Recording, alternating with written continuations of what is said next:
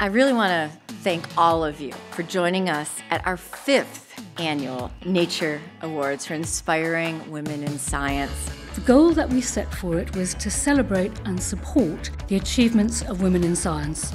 Inspiring Women in Science is helping to raise up the next generation of STEM leaders, something of which Springer Nature is extremely proud.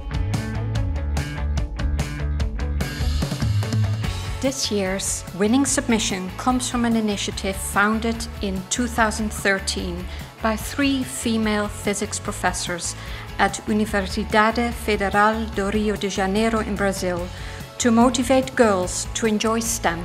We want to start saying thank you to Springer Nature and Estee Lauder for creating such a prime that recognizes and encourages women in science. This is so important. Science thrives on diversity. Girls that took part in Tem Menina no Circuito and at any time, this is for you.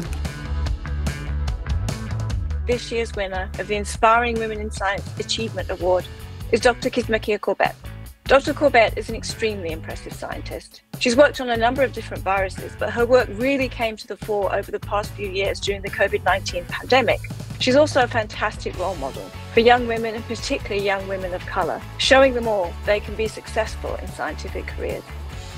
I have been inspired by many people along the way who believe that women have a respectful place at the table where everyone is talking about diversity in science and diversity in STEM. And 90% of the battle is just reminding every single girl in the world that she can be